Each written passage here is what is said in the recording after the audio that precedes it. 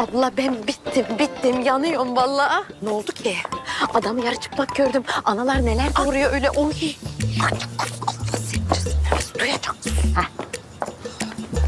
Songül Hanım, iyi günler. İyi günler, iyi günler İsmail Bey. Görüşmek üzere. ne diyordum ha? Diyafonları edin. abla sadece ben yanmıyorum ha. Bu İsmail de yanıyor. Bence gözü göz değil yani. Senin de hoşuna gidiyor mu kız? Aa, Nergis Hanım gelmiş eve beni kovacak vallahi kadın diyorum sen neler diyorsun ya? E sen nasıl görmedin Nergis Hanım'ın geldiğini ya? E, görmedim işte orada sohbete dalmışım ya. E, aşk böyle bir şey işte. İnsanın ne gözü görüyor ne kulağı duyuyor. Tövbe yarabbim yine abuk konuşmaya başladın. Abla sana da oluyor mu böyle karnına kelebekler hücum ediyor mu? Yani bu yaşta da oluyor mu böyle? Ne var be benim yaşımda? Aa, Yok yani ondan değil de hani sen böyle kimseye bakmasın, konuşmasın, etmezsin yani sevdiğimiz, takip ettiğimiz Songül olarak. Acaba şeyden mi dedim yani? neyden? Emine menopozdan mı acaba?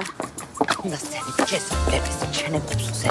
Kopsun o çenen senin. Bir de vallahi ben seninle sohbet etmeyeceğim ha. Sen her mevzuyu buraya getiriyorsun. E sadece ben mi getiriyorum abla? Herkes getiriyor. Senin o sürekli gittiğin komiser var o da getirmişti. Yine bana kızmıştınız. Tövbe yarabbim nereden aklına geldi o komiser ya? Bana bak, bak Yasemin sana bir şey derse hiç duyma, bir şey söyleme. Ne alacaksan al çık git. He he. Kız bu kapıyı niye aç? Ne oluyor ya?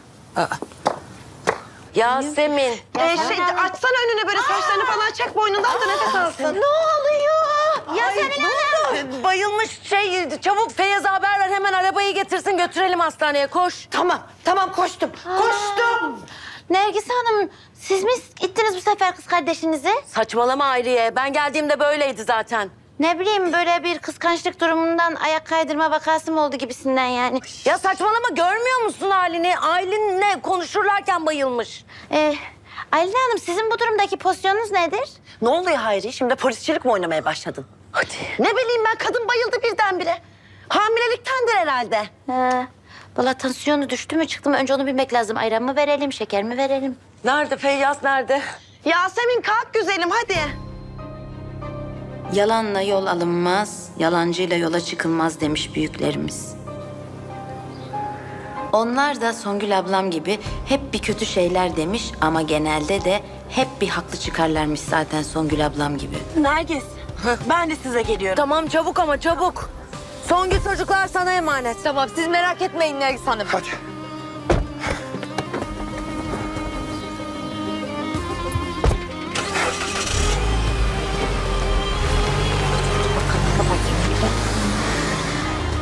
Atasözlerimiz ve deyimler sözlüğünde hep haklı çıkan müstesna bir sözümüz daha var.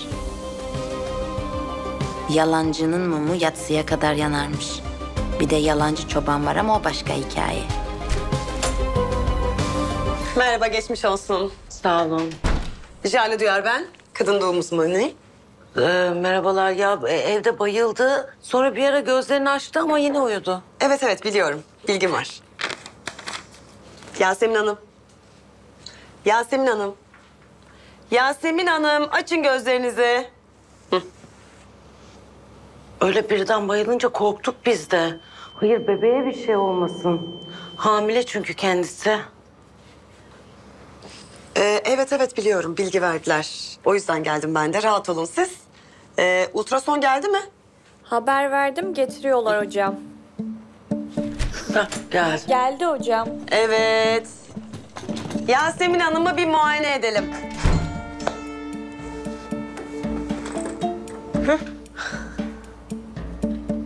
Siz çıkın hadi. Olurum canım kalırım ben. Hiç gerek yok, hiç yok. Çıkın. Temiz hava falan alın siz. Yasemin en azından ben kalayım seninle. Bak hiç vallahi böyle benim yerime de hava alın. Çıkın burada zaten doktor hanım hadi. İyi tamam çıkalım rahat etsin. Ya ne olur mu öyle şey ya? Allah aşkına çıkın ne olur. Vallahi çıkın hava alın ya. Tamam biz dışarıdayız merak etme. Tamam, tamam.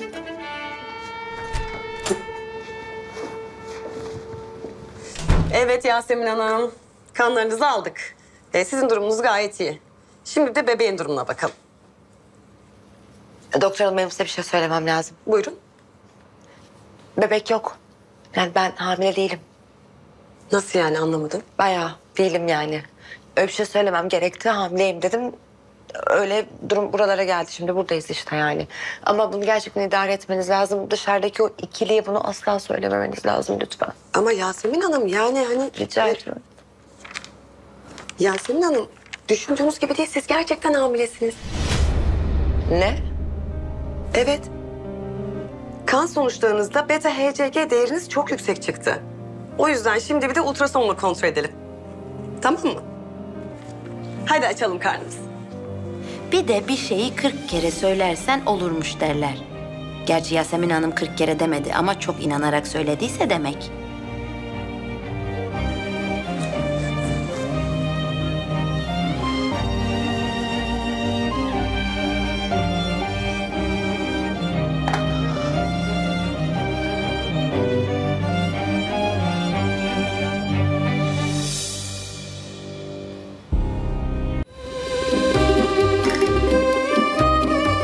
Daha fazla video izlemek için kanalımıza abone olabilir, ilk izleyen olmak için bildirimleri açabilirsiniz.